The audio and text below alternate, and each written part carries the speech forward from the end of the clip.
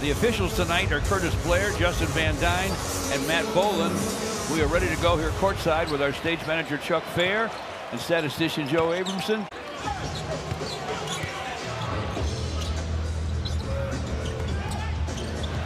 Look at that. Great ball movement, cutting to the basket for a stuff.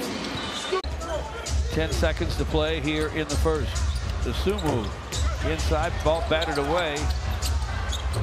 It's a six-point Chicago lead. Dosunmu, top side to Jalen Smith. And the Pistons take it away. Ron Holland to the basket on Smith. Winds it up and throws it down. Coby White has it topside. Over Fontecchio with the shot. No. Rebound to Ron Holland. You think Milwaukee might wish they still had him? I guess so, especially after he drained eight triples on them in Milwaukee last week. Jalen Smith with a miss.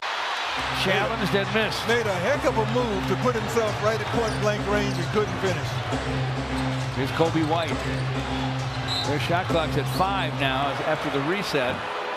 Beasley back to Cade. Shot clock inside 10. From the corner. Hardaway Jr. missed the three. Holland with the rebound. 30 seconds left. It's 122 to 112. Malik Beasley to Ron Holland. Holland to the basket. Missed it to Vucevic.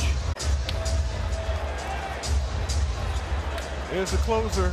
Not Vucevic, folks, but Zach LaVine. Vucevic set the table, and Levine closed it out.